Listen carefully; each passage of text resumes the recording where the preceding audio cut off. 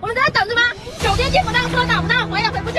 就你们一句话在协调，协调什么？安排是怎样的？你们解决不了这个封路封桥的问题，把我们这些人叫到这里来是干什么呢？第一，避风；第二，避雨；第三，有人开进；第四，有饭吃。都在那边有风有雨，没饭吃，没水喝，你们干嘛？呃，已经转运出去了，现现在还在集中的在收路人员，嗯，也是统一的安排，也会进行转运。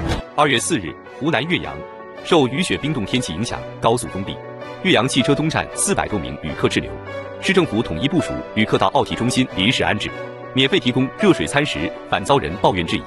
截至当晚二十一时，四百多名滞留旅客全部登上返乡大巴，由高速交警等护送返乡。